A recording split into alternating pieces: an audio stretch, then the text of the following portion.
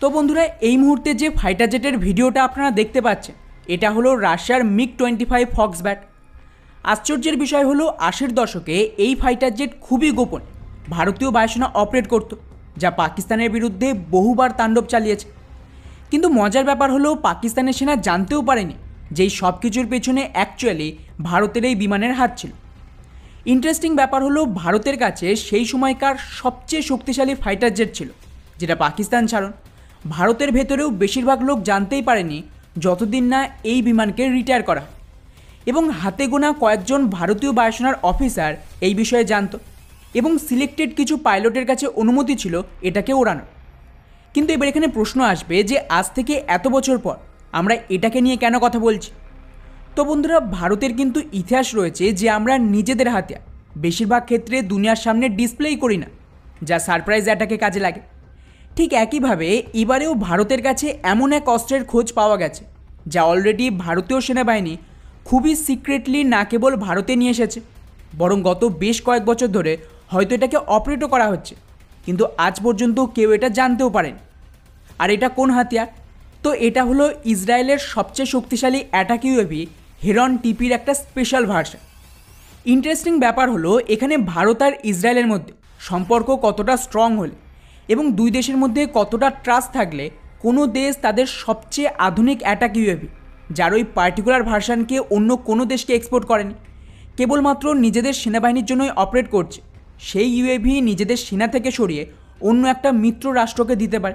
হ্যাঁ ঠিকই শুনেছেন। এটা অ্যাকচুয়ালি ভারতকেই নেয়নি। এটা ইসরায়েলের বায়ুসেনা অপারেট করতো তাদের শত্রুদের বিরুদ্ধে। আর সেটাই ইসরায়েল এক কথায় ভারতে পাঠিয়ে দেয়। আর বন্ধুরা ফাইনালি এখন এমন কিছু তথ্য সামনে এসেছে, যেখানে এটাকে পাকিস্তানের বিরুদ্ধে সীমান্তে অপারেট করতে দেখা গেছে। আর হ্যাঁ আগেই বলে রাখি, যেটা এমন নয় যে আমি কোনো গোপন তথ্য ইউটিউবে ফাঁস করে দিচ্ছি। এটা অলরেডি পাবলিক হয়েই গেছে। টুইটারে একটা অ্যাকাউন্ট রয়েছে যার নাম সাত্বিক শর্মা। তো তার তরফ থেকেই পুরো বিষয়টিকে দুনিয়ার সামনে নিয়ে আসে। এখানে এই স্ক্রিনশটটা দেখুন। এটা হলো ফ্লাইট ট্রেডার নামে একটা অ্যাপ্লিকেশন যেখানে আপনি লাইভ বিভিন্ন কমার্শিয়াল বিমানকে ট্র্যাক করতে পারবেন। আর এখানে কিন্তু ওই ব্যক্তি ভারতীয় বায়ুসেনার যে হেরন টিপি, এর ওই বিশেষ ভার্সানকে এখানে ট্র্যাক করে। এই স্ক্রিনশটের ভেতর যে নীল লাইনগুলো দেখছে, এটা হলো ওই ড্রোনের পুরো রুট যার ওপর দিয়ে এটা উঠছিল। এখানে বেসিক্যালি কাশ্মীরের শ্রীনগর থেকে শুরু করে কুপওয়ারা, পুঞ্চ, এই সমস্ত এরিয়াকে এটাকে স্ক্যানিং করছিল। এবার এখানে আপনাদের মাথায় প্রশ্ন থাকবে যে ভাই, এর কী প্রমাণ?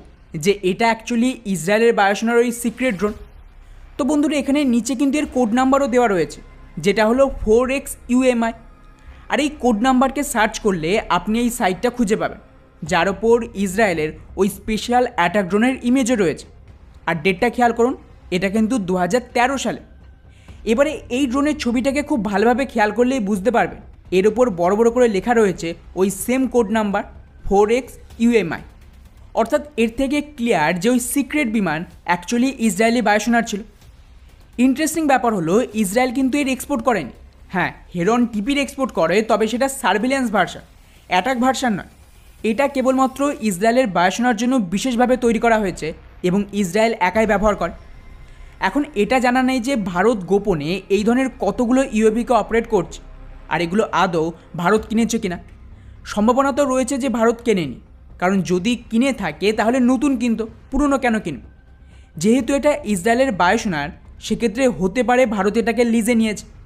আর আপনাদের হয়তো মনে আছে যে গত কয়েক বছর ধরে ইসরায়েলি ড্রোন লিজে নেওয়ার কথা চলছিল।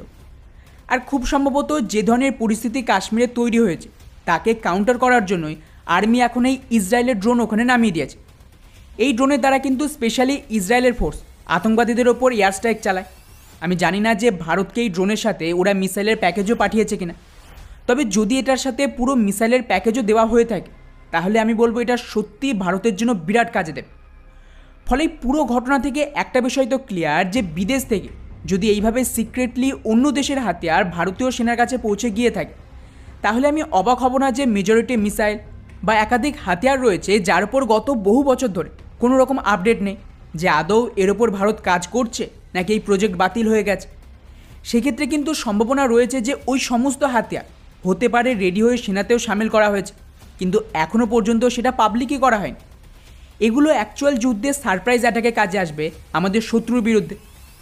আর হ্যাঁ এখানে আপনাদের অনেকের একটা ডাউটও থাকতে পারে যে ভাই ভারতের এই সিক্রেট ড্রোনে পুরো লোকেশনকে কি পাবলিক করা থাকে? যে এই সমস্ত সাইটে গিয়ে সাধারণ মানুষ ট্র্যাক করতে পারছে। তাহলে তো আমাদের শত্রু দেশ সেটা আরও ভালোভাবে জানবে যে ভারত কি করছে বা ভারতের হাতে আর ঠিক কোথায় ডিপ্লয় রয়েছে। তো বন্ধুরা, বিষয়টা এমন না। এখানে খুব সম্ভবত ভারতীয় সেনা ইচ্ছাকৃতভাবে নিজেদের লোকেশন এখানে পাবলিক করেছে। তা না হলে কারোর ক্ষমতাই নেই এটাকে ট্র্যাক করা। আর এটা পাবলিক করার পেছনে হতে পারে একটাই কারণ, যে ভারত চাইছিল এটা দেশের লোকজন, অথবা আমাদের এনিমি জানুক যে ভারতের কাছে এই ধরনের অ্যাটাক ড্রোন চলে এসেছে। এর পেছনে অ্যাকচুয়ালি ঠিক কী কারণ সেটা তো বলা মুশকিল। তবে হ্যাঁ এর থেকে এটা প্রমাণ হয়ে গেল যে কেন ভারতীয়রা ইসরায়েলকে এত বেশি সাপোর্ট দেয়। শুরু থেকে কিন্তু ইসরায়েল একমাত্র দেশ যারা সব বিপদে ভারতের পাশে থেকেছে। তা সে উনিশশো একাত্তরের যুদ্ধ হোক বা কার্গিল বাকি সমস্ত বিষয়কে নিয়ে আপনাদের কি মনে হয়? নিচে অবশ্যই কমেন্ট করে জানাবেন। জয় হিন্দ।